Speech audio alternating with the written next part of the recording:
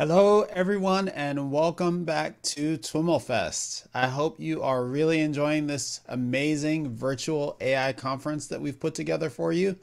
Uh, we will jump into today's keynote interview shortly, but I'd like to share a few uh, updates and announcements with you. Uh, first off, the coded bias screening and discussion is happening uh, the screening is started already. If you have indicated your interest in participating in the screening with us, uh, you will have been mailed a link to the screener. Uh, of course, we will be watching the screener together on Saturday. Uh, if you'd like to join us for that, followed by a conversation with uh, the director and several of the folks who have been featured in the film. So I encourage you uh, if you've not already expressed interest in that, uh, uh, visit the agenda and click interested or going for Saturday's session, and you will immediately get the email about the screener. Uh, we've got a ton more great sessions lined up for you uh, this week. We've got uh, a session on data logging tomorrow, a session on AI and ML and physics tomorrow a conversation about AI and the fight against climate change tomorrow. And then we've got a bunch of amazing uh, sessions happening next week as well. So I encourage you to once again visit the agenda and check out all of those sessions. We've added a bunch. Uh, so if you haven't been there recently, you definitely want to go there and catch up.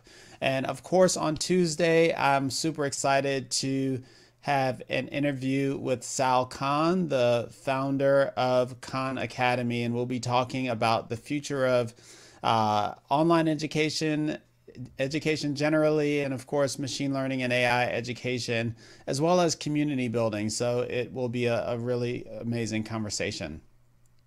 Um, so, a little bit about today's interview.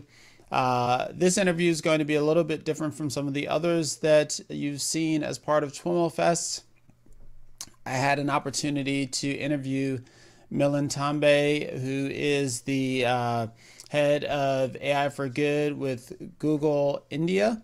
Um, not too long ago, and uh, in fact, it was just before in the in the run up to TWIML and we thought, wow, this was such a great interview. We need to include it in TWIML It's right in line with the topic of uh, community and social good that we have been uh, really trying to elevate in this event.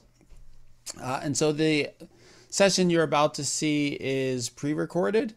Um, but Milind is with us uh, in our virtual distributed studio.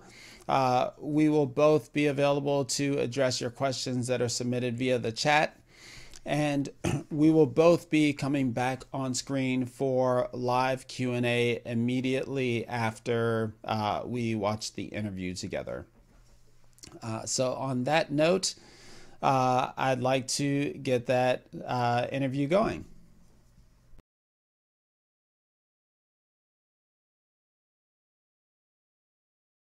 All right, everyone. I am here with Milind Tambe. Milind is professor of computer science and director of the Center for Research and Computation in Society at Harvard University, as well as a director uh, of AI for social good at Google Research India. Milind, welcome to the TWIML AI podcast. Thank you for inviting me. It's a great pleasure to be here. Uh, I am very pleased to have you on the show and looking forward to learning a lot more about your work. Um, before we dive into that, yeah, I'd love to have you share a little bit about your background and how you came to work at this intersection of AI and social good. Um, so I have been working in AI for the past, uh, you know, if I count my PhD days, uh, 35 years. It's unbelievable uh, that it's been this long now. Wow. And, uh, you know, I, gra- you know, after getting my PhD, focusing on this area of AI called agents and multi-agent systems, where essentially it's an idea of multiple agents interacting with each other and modeling social interactions of this type. Uh, about 15 years ago or so, I um, started focusing on problems related to direct social impact. And I realized that this is something that gives me great joy. It also is, is not only something where I can see direct impact, but also allows me to advance AI research in interesting ways. So uh, I'll give a very concrete example uh, as a motivating example, uh, but work has expanded since then. I grew up in the city of Mumbai in India, and uh, you know the shadow of 9-11 around 2005 was very large you know the we were all shocked at that point. And there were attacks uh, in, in mumbai including on a train uh, where there were some terrorist bombings where my mother was actually in the train. And these sorts of events um, i mean she was safe she got down nothing happened to her. But these sorts of events led me to sort of think about how can we contribute towards uh, public safety and so one of the at that point the LA airport was uh, had approached us to say, can we improve placement of checkpoints and canine patrols and so forth. So this was, you know, now, now you can imagine 15 years ago. And so at that point, he said, well, we can apply game theory as a way of randomizing checkpoints and patrols and so forth uh, with the LA airport police.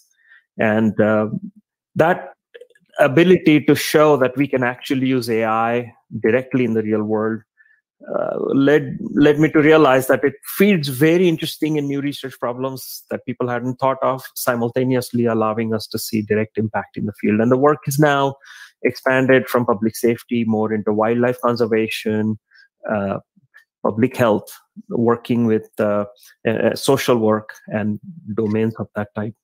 Mm-hmm. And, and in our pre-conversation, you made this really interesting com- this really interesting comment that I- would love for you to recap um, about the relationship between the application of AI in a, a setting like social impact and, and, social good and kind of fundamental innovation uh, in machine learning. You know, what, tell us a little bit about how you think about the relationship between those.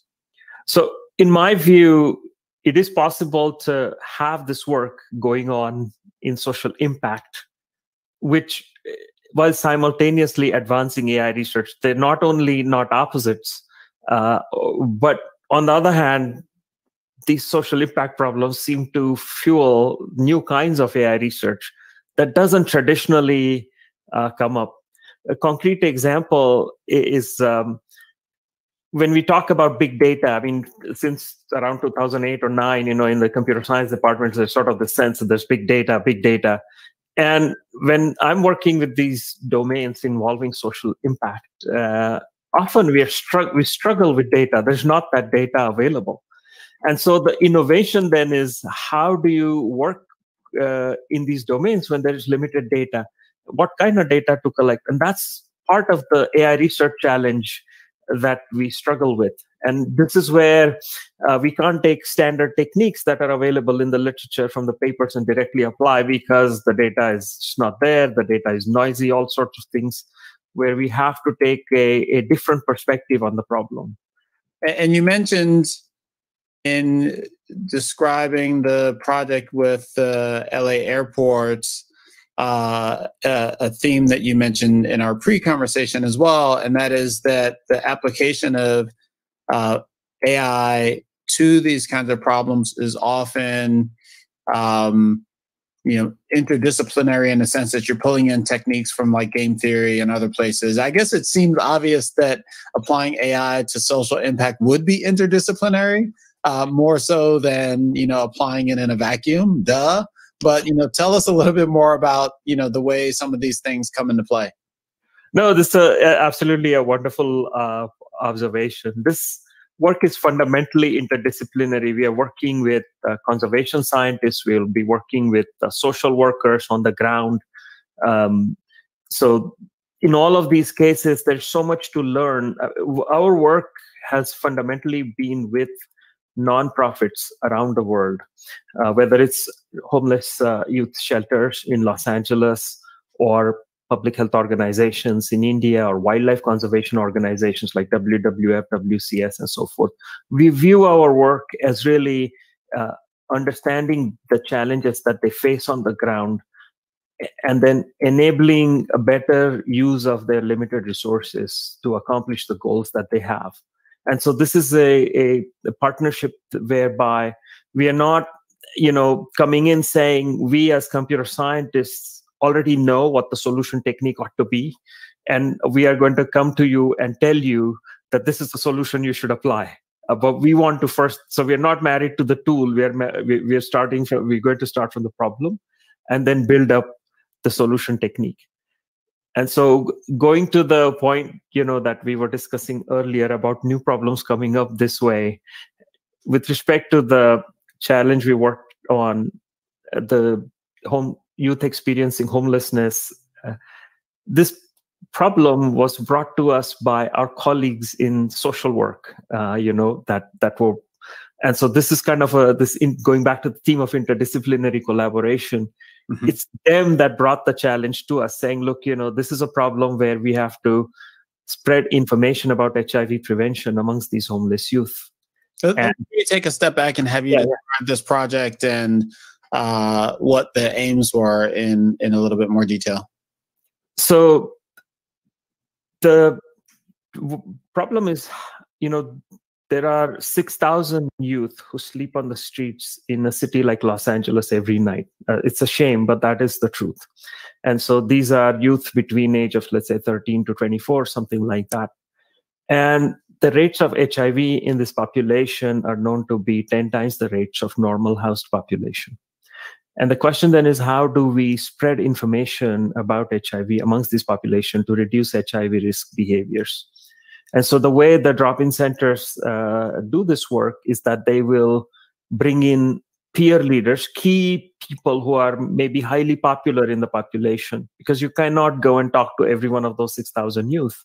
So you bring in key people, you talk to them about HIV risk behaviors, HIV testing, things of that nature, and hope that by word of mouth, the information will spread. So they'll talk to their friends, their friends will talk to their friends, and information will spread in this fashion the question for us is can we can we have this be done in a more effective fashion than what they have done which was to bring in the most popular youth and so the ai challenge here is given a social network of these youth can we figure out who are the key nodes in the network who if we seed uh, them with information will spread the information in the most uh, you know in the broadest possible fashion this is somewhat like viral marketing uh, that we are very familiar with except that we are now trying to use it for spreading information about hiv and getting people to do hiv testing and reduce uh, hiv risk behaviors like uh, condomless sex and things of that kind. And the okay so we we took on this challenge. So how do you identify key nodes who we will bring in. These are youth who we will bring in uh, instead of what the tech, whatever techniques they were using. We are going to identify these youth in a different way using our AI algorithms, using the social network structure. We're not going to use any private information, just what the network looks like. So, uh, what were they doing before? So they would just say, okay, who's the most popular youth? In the words of, uh, in terms of social networks, these high degree nodes, you know, the nodes that have the most numbers of edges uh, who uh, so so that I mean it makes sense. Except that on some some data set or just asking people in interviews, you know, who's the most popular person you know or something like that. And that's right. And and they have a sense of, you know, a, a youth who's like the most pop, you know, who are the most popular youth uh, in yeah. the drop-in center.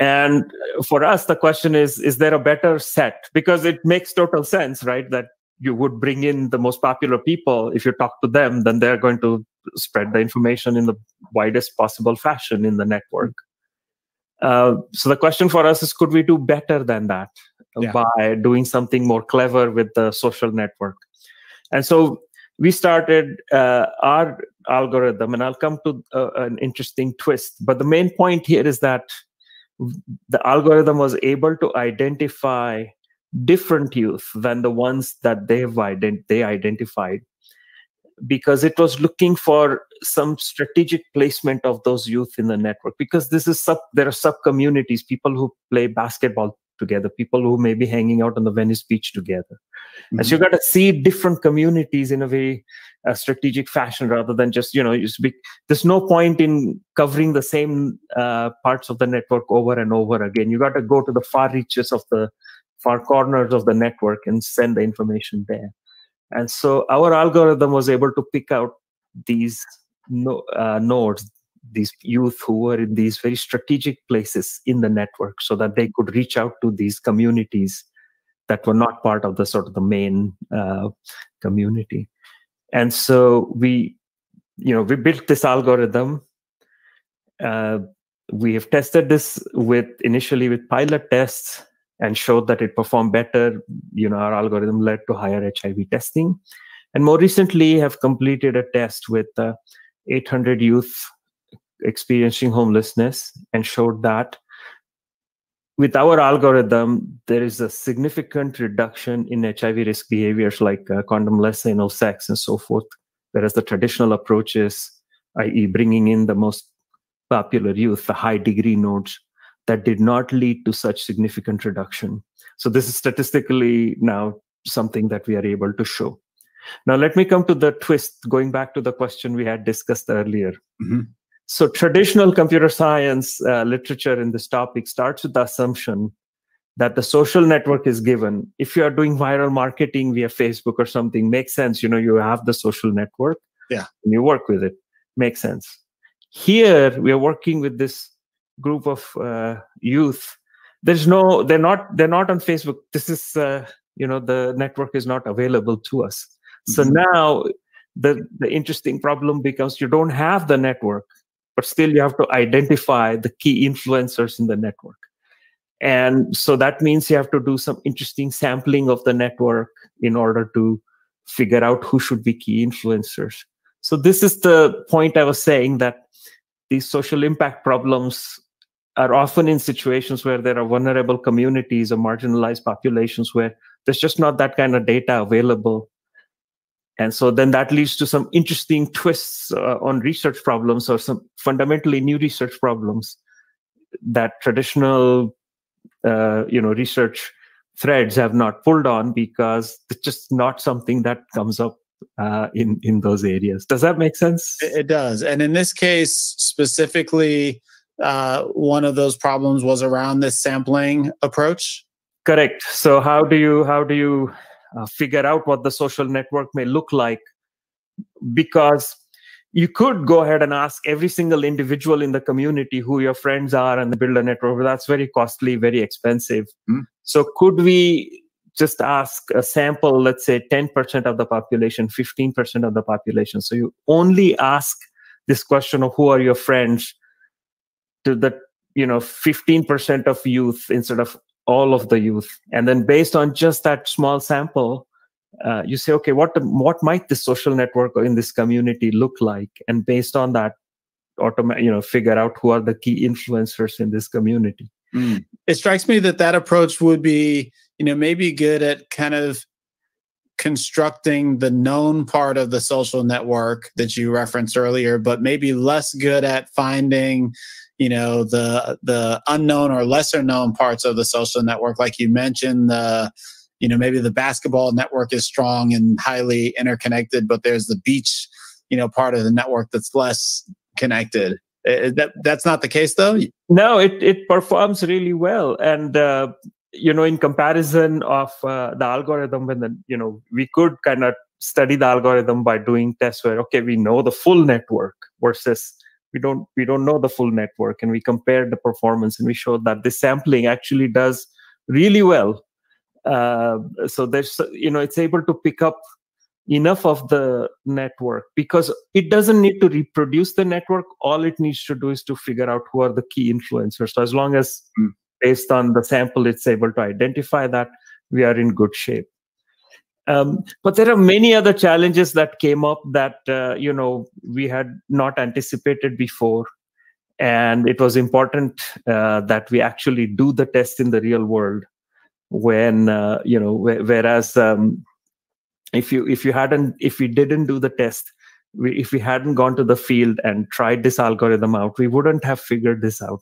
So this lack of social network is number one Another is that normally when we think about this uh, social uh, influence and so forth, we assume that you bring in the seeds or you, you know, pick the influencers and the influencers will do their job because, you know, they are, you know, viral marketing or what have you.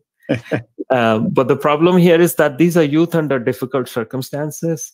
And so we try to uh, invite them in but you know they may not be able i mean they may not be able to afford the bus fare to come to the drop-in center for example mm-hmm. so we may end up with a different group of people than the one we invited mm-hmm. and so you got to take into account these kinds of contingencies that normally wouldn't come up uh, in a you know a domain where these uh, community you know you don't have these kinds of um, vulnerable communities so that's just to give you that you know being i mean going back to the original point we were discussing which is uh, you know doing work with social impact uh, leads to these very interesting new research challenges that we wouldn't have imagined going into the problem mm-hmm.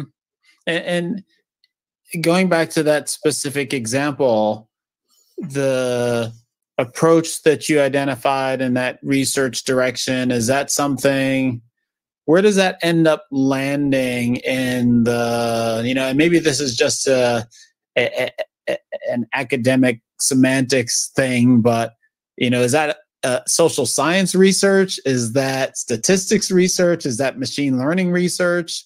Does it even matter? No those are those are really fantastic questions.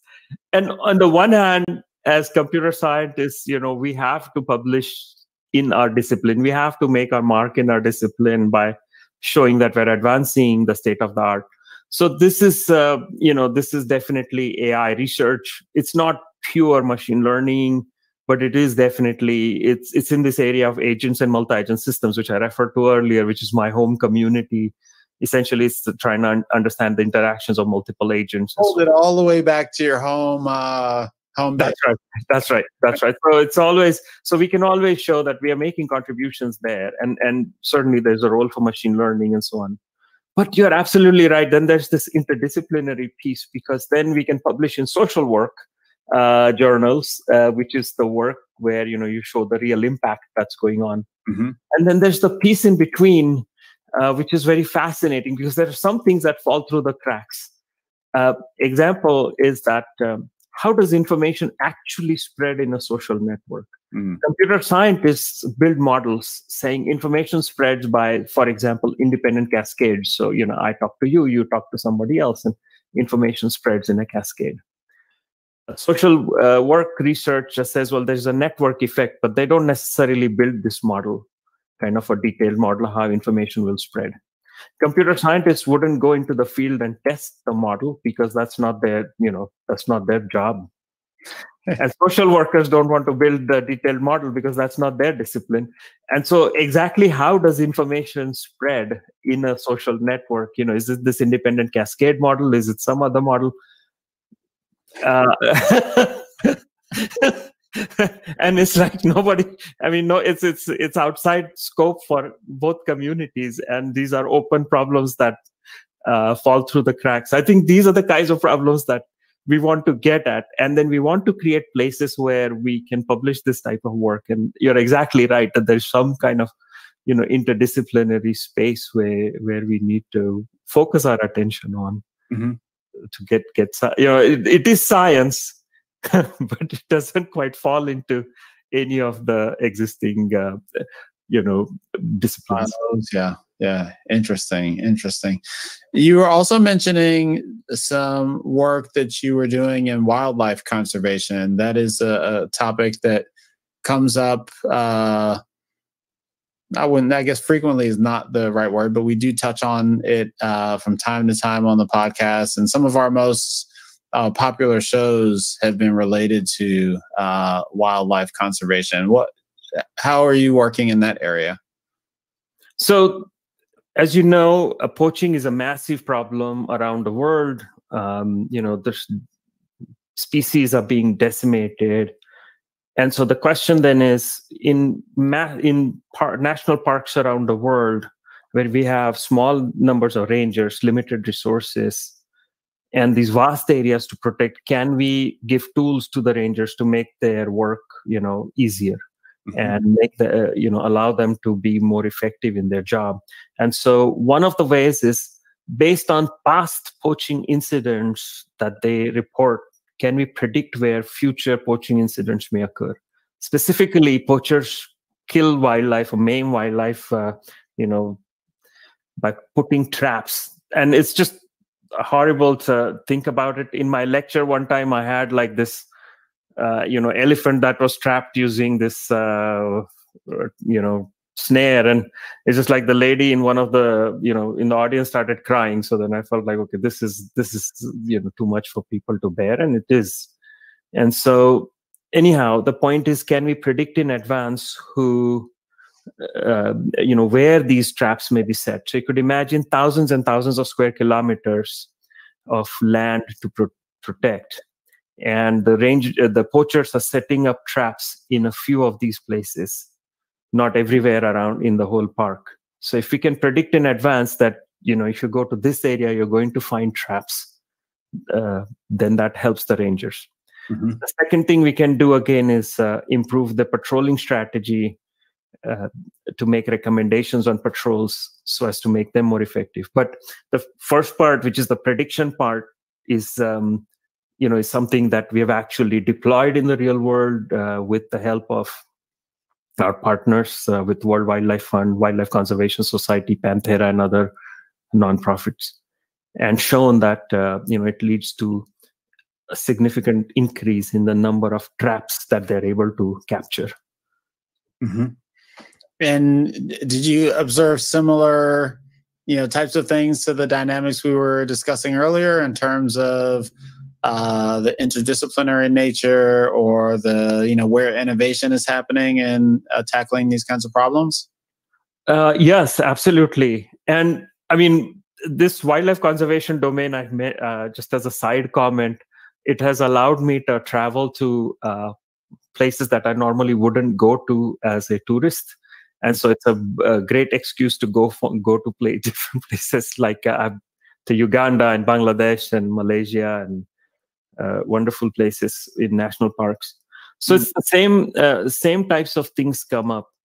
For example, the rangers, um, you know, they go to you know they are searching through the park for these snares and traps, and so they will report you know they go to a certain area and they say well we didn't find anything here.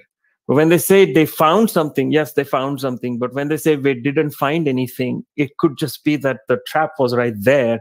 That you know they just didn't see it because it might be a little well hidden or had they walked just a little bit more they could have found it.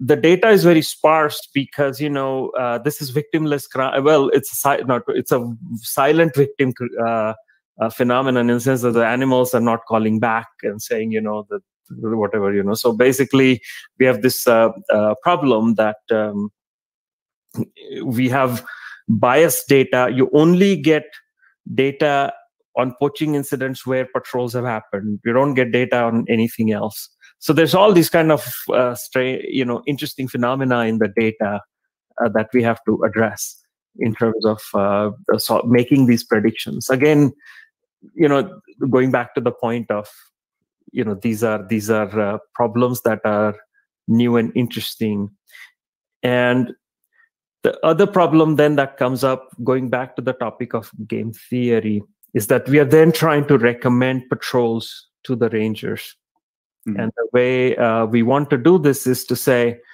you know if we've uh, if we patrol in one place the poachers are very clever and they will realize that you're you know you're going to be here again tomorrow. You've been patrolling this place so they, they're clever. They'll go somewhere else. So you got to anticipate where they will go and uh, sort of play this you know play one move ahead of them or something like that. So that's mm. that's where the game theory starts to come in. Mm. so what are some of the other things that you've done kind of in this this broad domain? So uh, in recent work uh, that we have been doing as part of uh, the work we've done in Google Research India, we've been looking at um, adherence. Um, so this is a pro- issue that comes up in other work we've done with tuberculosis prevention. Um, essentially, there's a health program that is being run, and you want people to adhere to the health program. I'll I'll describe the one uh, for this uh, work with an NGO called ARMMAN that uh, does work with expecting and young mothers. The basic idea. So this is in India where you know the, the there's the statistics of um, you know children uh, who are born who may be uh, short you know who, who may not get high, full weight and so forth is all uh, very high so basically you have um, a great need there to make sure that you deliver health messages to women in a timely fashion. So the way this uh, ngo does this work is that they issue a phone call three minute in the voice of a friendly local neighborhood health worker to expecting moms who have registered with them uh, saying you know you are in the sixth week of pregnancy this is what you should expect you are in the you know this is your you know your child is now two months old please register in this government program etc etc and it's there's a call that's given or two calls given every week uh, and they have shown in randomized control trials that women who listen to the information actually there's a significant improvement in their health and baby's health. Mm-hmm. The challenge they face is that women may become low listeners over time. They may drop off of the program, mm-hmm. which means that they will not benefit from the program.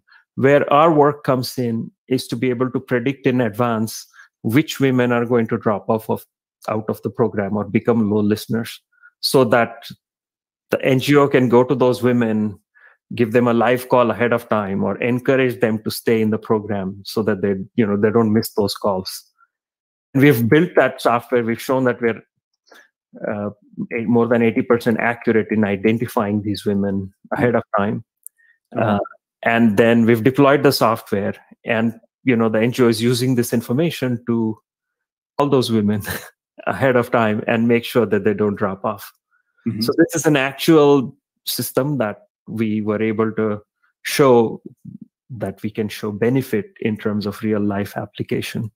Mm-hmm. Um, but this also comes up in other areas uh, where you know there's adherence to medicine. You know, so people have to take their medicine every day. Uh, this happens, for example, for tuberculosis prevention. If we can predict in advance that you know this person is going to drop off of their adherence, then we can keep them engaged in the program. Mm-hmm so these are uh, these are just some of the things but there are other things we've looked at. Human preventing human wildlife conflict for example is another one. Um, i'm curious in this uh, social good domain you you mentioned just a couple of uh, adherence use cases. Is is there more or less of an ability to um, to reuse you know innovation from one domain to another similar domain because of the the human factors involved in, in the social good work. There is there are some core problems that seem to come up. You're right. So for example spreading information like we discussed in terms of social networks that seems to be a problem that's common. Um, adherence problems that's one of the you know uh, problems that's common when it comes to you know wildlife conservation or you know the, these problems related to whether it's illegal poaching illegal fishing illegal uh, logging i mean there's, there's, sort of a common problems related to crimes against the environment uh, in, in in some ways and so there are these broad classes of problems where there's some uh, carryover of techniques although each domain may bring its own twist uh, to to the problem mm-hmm. and in each case, one of the things that is common is that we really want to go from getting the data all the way to deploying things in the field. Because, in our view, unless you actually show social impact, is not quite AI for social impact. You know, it's that rings true. because writing a paper by itself, you know, uh, it is, is not really AI for social impact. You know, it's it's like you've written a paper, wonderful, and and it's important to write and uh, yeah. make contributions to science and you know AI and so forth. But if we say if we label it as AI for social impact, then we want to see the social impact. Right. Right. Does that mean that when we see people talking about AI for social good and not AI for social impact, we need to be, you know, particularly careful about that wording? I, I mean, uh, I started using the word social impact because I wanted to emphasize impact, but same thing for so AI for social good. I feel that doing good. You got to show, you got to actually see the good on the ground. Uh, if we just say it's AI for social good and a paper gets written, it's important to write those papers. It's important, but it's like job not fully done. We, we got to see the final output in terms of social impact or the actual out uh, you know in our view when we talk about ai for social impact social impact has to be a first class citizen of this universe. It is not like well there's the ai we published the ai and then social impact well that's just the application and it's not that important that's not the way we think about it. Yeah.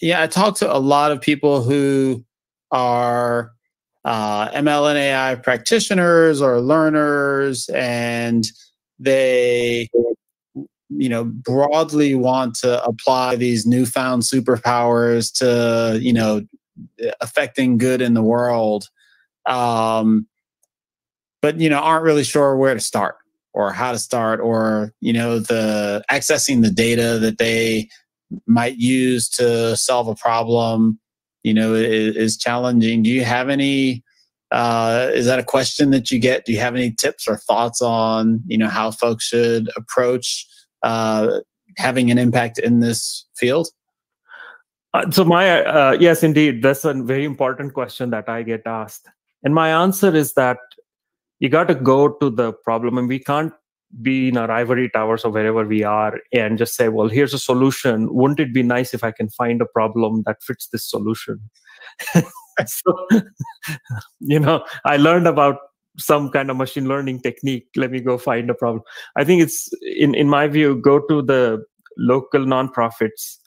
Um, I mean, there's so many people doing absolutely inspiring work. And that's one of the things I find when I'm uh, working in this to be so inspired you know it's so inspiring to see these people uh, out in the field doing i mean really amazing amounts of volunteer work uh, or you know really just trying to make in, uh, make um, an impact and so from them if we can find out what is the problem where we could make a difference for them mm-hmm. and then try to give them the tool that would help them. That's the way I uh, I have approached things, and that's the way. I mean, for example, at our uh, center here at Harvard, the Center for Research on Computation in Society, the goal is to talk to the local area nonprofits, understand from them what problems there are, and then build tools for that. That's exactly the approach we've also taken with uh, Google Research India with the AI for Social Good is to bring in nonprofits understand. And it's sometimes the case that you know people will say well we are a nonprofit but we don't need ai uh, we need you know something else. And that's fine too you know it's ai is not a shine you know it's, it's not going to solve all problems we understand you know it, it, it may not be a solution at all in some cases but in some cases it is and in some cases there is you know the ngos are sitting on some data that's valuable to them they don't have the resources to actually themselves learn machine learning and, and, and apply those techniques. But they would love to understand, you know, would love to get our help.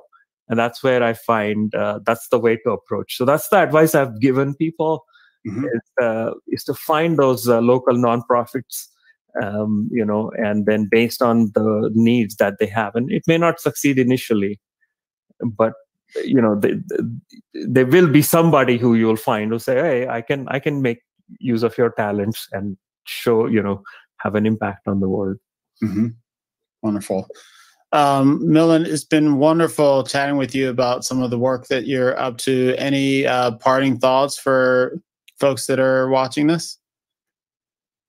Thank you, first of all, for inviting me. Thank you. I had a lot of fun uh, talking to you. You know, really awesome questions.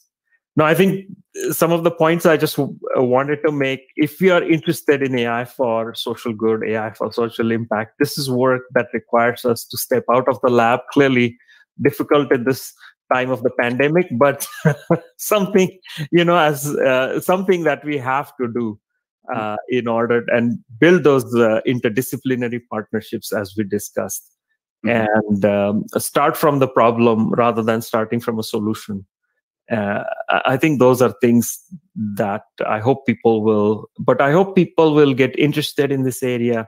I hope this is an area that will thrive and something where we can actually bring AI to those who have not benefited from AI, which is perhaps the vast majority uh, of the population on you know uh, in the globe. Great, great. Thanks so much, Milind. My pleasure. Thank you for inviting me.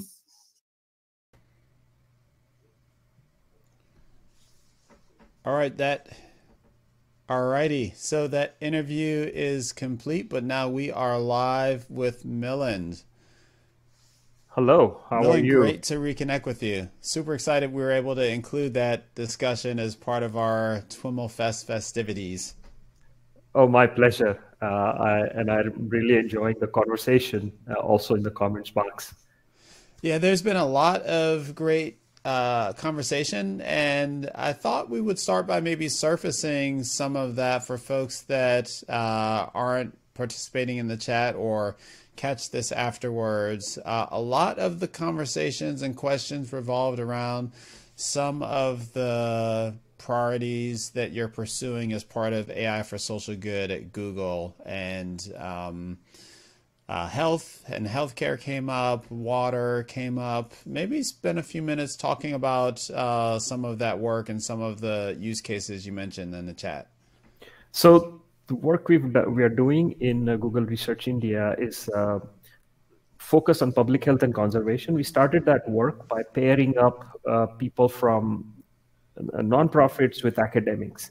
And so this was a workshop whereby we brought in the nonprofits, brought in academic researchers, and then we figured out how to do good teamwork, uh, how to do teaming of these uh, um, nonprofits with our colleagues and formed a team uh, where we are also a part of it.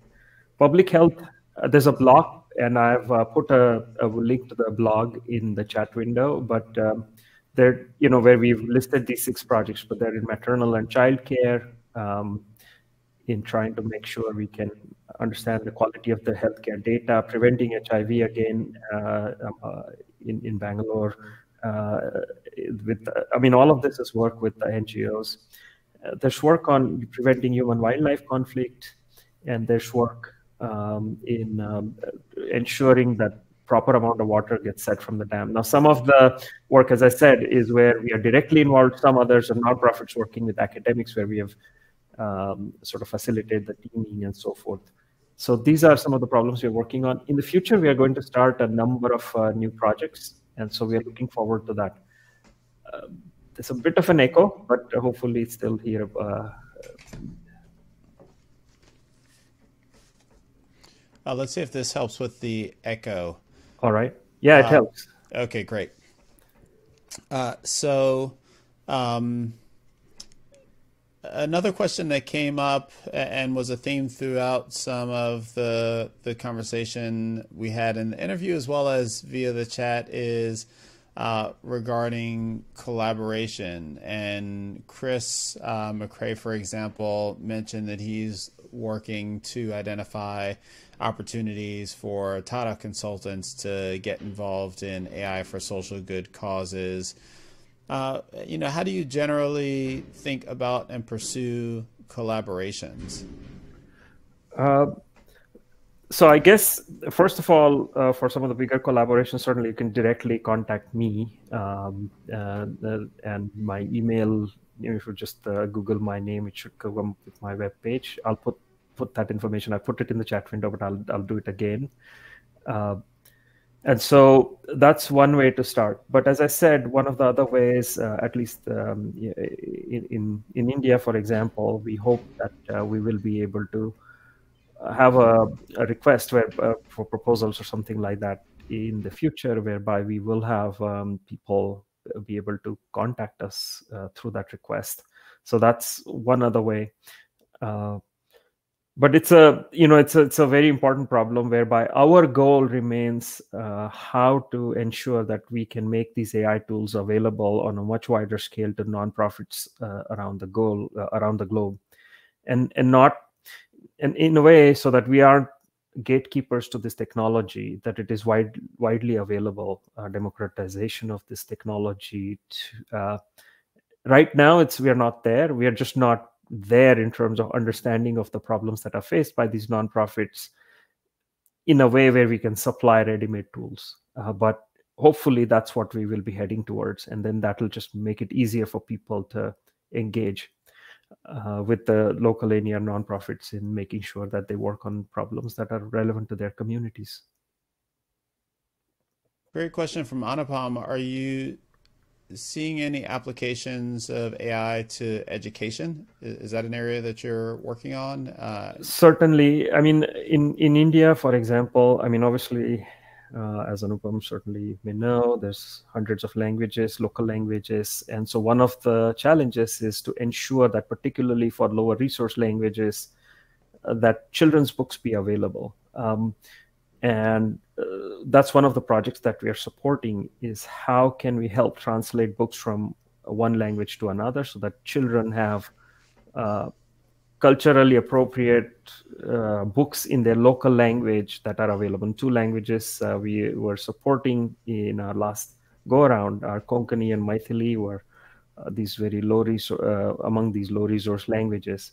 But uh, that's something that we are very interested in in terms of uh, supporting local languages in terms of via machine translation and language models. So that's one of the areas. Um, it's not a major focus of my group, uh, although there are other researchers uh, at Google Research India who are focused uh, on this topic.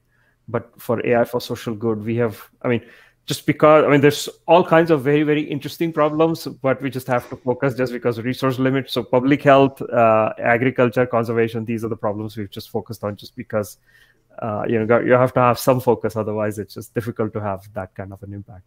Those are all pretty big areas. Right. uh, we are interested in education, but it's uh, somewhat, uh, you know, it's just, and also uh, my training is not in uh, natural language understanding and things of that nature that would be relevant, particularly for uh, Indian language machine translation, things of that nature. So it's harder for me to be really deeply engaged. So that's partly the decision. But as I said, there are other research groups uh, in the lab who are focused on machine translation and so on. So they would obviously be very keen on working with uh, AI for education, and they are. Got it. Um, one of the questions that came up was relating to the idea of um, uh, deep fakes and fighting misinformation, and you connected it to some of the social network uh, work that you've done and that we talked about in the interview. Can you elaborate on, on that use case? So, I guess the idea is that uh, we've worked on spreading information ab- uh, about HIV prevention, for example, in a social network. But one could imagine that there is a a um, you know campaign whereby some one party spreading misinformation and the, we have to counter it uh, by spreading our own information correct information to neutralize this misinformation being spread. So you can imagine that this is like a um, conflict between two sets of messages going across. In the commercial space this is like two companies you know uh, going at each other with, with respect to viral marketing and trying to spread their product ahead of others but in the information space where we are talking about public health information whether it's like a, you know anti-vaccine kind of information spreading in a social network we want to combat it by spreading the right kind of information. So we've done some uh, work in this context of trying to you know how do you effectively spread counter messages by choosing the correct kind of influencers to counter the influencers that were chosen by the other side in order to spread our uh, uh, information but we haven't really i mean this is one of those uh, papers that we have uh, you know explored. It's not something that we've actually deployed in practice or have tried out in practice and so forth. Mm-hmm. um, and of course you know the, the, the, all you know we have to be a little bit careful about uh, how to actually engage in these things. But yeah i mean uh, this is um, this kinds of uh, trying to combat fake news trying to especially as it relates to important public health concerns um, is, is important to make sure that uh, the correct information goes out. and Benedict is asking about the you know when you layer on um, low resource language uh, issue on top of fighting fake news. Are there any thoughts on how those intersect? Oh, it's. Uh, I mean, some of these are such wonderful research challenges that are coming up in the chat window. I, I noticed. so it's it's really a, a terrific job. Thank you, uh, listeners, and and you know uh, for people who are in the chat window. Really amazing. I mean, these are all really interesting challenges. I'm not personally aware of. Uh, is or... not doing everything. and uh, and it's a it's a very interesting uh, uh, you know issue to be looking at. Um, yeah, I mean, especially, I mean, you know, it, we have to sort of think about how we can ensure that we don't lose a part of our human heritage, uh, lose these languages. I mean, I, I my own mother tongue is Marathi, and you know, I mean, there's such such rich lit, rich literature, such rich culture, and um, you know, how do we ensure that uh, all of this is preserved for future generations? And not only i mean that's just one language. There's thousands of languages but there's a there's sort of a continuous assault just because of the way the world is structured on uh, these languages. And so how do we ensure that uh, you know these languages are preserved they survive? I mean that's one of the more major i guess that's one of the major languages but there are obviously languages that are much lower resource languages where uh, this is a real threat and so we i mean I'm personally very keen, and figuring out ways to collaborate on that would be something very interesting for me to pursue. Mm-hmm. I'm curious if you can comment on how you generally think of the role of AI for social good you know, in business. So you, are doing this, you know, for Google, a, a commercial organization. I think it was since we spoke the head of Coinbase came out and said, "Hey, Coinbase is a kind of politics and cause neutral company. Keep your keep your causes at home, employees. They lost like some 60 employees as a result of that. Uh, good for them, but you know clearly there's at least one company that thinks that you know these kinds of causes don't have any place in you know in the business setting. How do you think about that? Well, I I mean, uh, you know, you you hit the nail on the head. I mean, if if uh, we are passionate about uh, you know certain causes around the globe, and we have you know this sort of superpower, as you mentioned, of uh, AI that uh, I mean, obviously, collectively through everybody's efforts. And it is important that we don't keep it confined to sort of the 1% of the planet that has access. Uh, I mean, there's billions of people who are in poverty uh, and you know have such a major such major challenges that it is important to figure out how we can benefit and it's in the self-interest of uh, people i mean if these people start doing well i assume they'll join the join place where they can uh, start buying things and things of that nature. So it's probably also a good thing from that uh, self-interest perspective. But more importantly i mean it's just a, a cause that is important. I mean i that's what I've uh, been pushing, uh, whether in my academic life or as part of um, as being head of Google Research India. And I'm fortunate that in um, at least in the organization that I'm part of, that they have been, uh, you know, they have been very enthusiastic in their support. Um, this uh, is something that we are growing uh, in in Bangalore, and so yeah, I mean it's it's important. I mean, it's. I mean, and I see that uh, many others are involved with this, um, with the AI for social good. So it's not just uh, you know just one company. It seems like this is an effort that's gaining widespread support. We just see a larger field being grown together just by, I think, a common understanding that AI for social good is an important uh, activity for all to participate in, and it's such a you know I mean, for people who are um, engaged in AI research, I mean, it's something that you know they can really contribute to. So, thank you uh, for for that. Absolutely, and we're going to get in one final question from Anupam about um, HIV prevalence in Bangalore. Is that something your your project was based in the LA area? Have you also been involved in work in India? Yeah, so the project that we've been involved in um, in a major way was in Los Angeles. Uh, that's where we did a larger scale study with uh, 700 youth experiencing homelessness, and uh, the results of that study are available. Uh, the one in Bangalore is uh, work done with an um, uh, you know, inspire all of these nonprofits are so inspiring. Uh, nonprofit called Swasti, and so we are collaborating uh, with the academic institution Triple IT Delhi, and with uh, this nonprofit in order to do HIV prevention in, in Bangalore. So as far as the results, this is uh, in initial stages. Um, so we don't have um, we have some initial sort of uh, preliminary result. We, we don't have uh, the kind of long term because the one in Los Angeles has been going on since 2013. So it took five six years for that project to come to the point that it came to. Here we have just begun, so it's a little bit early for us to have actual results. But yes, we are focused on that.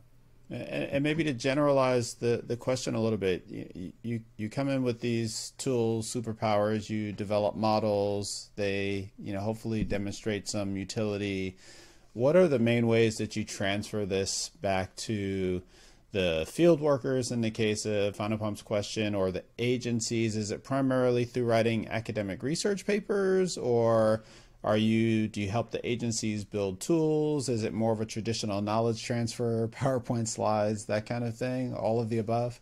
All of the above, but most importantly, we actually want to give them that software that you know so that it can be actually used so this the burden is not on them to absorb the technical material and then uh, try and figure out how to go about solving the problem but for example for wildlife conservation the PAWS software that predicts where poachers set traps or snares we are actually trying to move that software and make it available to hundreds of national parks around the globe with the help of uh, a SMART uh, partnership, which is a, a, combination of WWF, WCS, and 13 other organizations. So we're with their collab with their collaboration and blessing, just making that software available to everybody.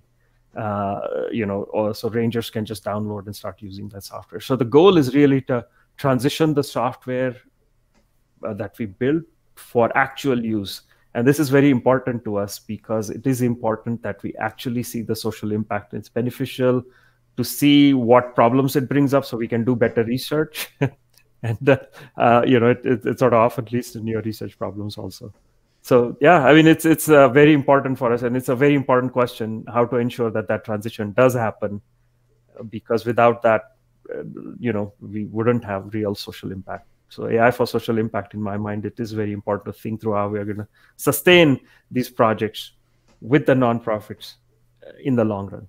And does it make sense to ask how much of the benefit of these projects is, you know, software that can use these models to, you know, help folks do their, their jobs better or, or, you know, work in their their local areas better? versus you know how often is it you know as part of developing the model and maybe you know understanding what the model is doing did we gain fundamental insights around you know the behavior of a, a system that someone is trying to work in i think uh, you're you you're uh, right that we actually view this sort of uh, trying to push for ai for social impact and advancing ai research as things that go hand in hand.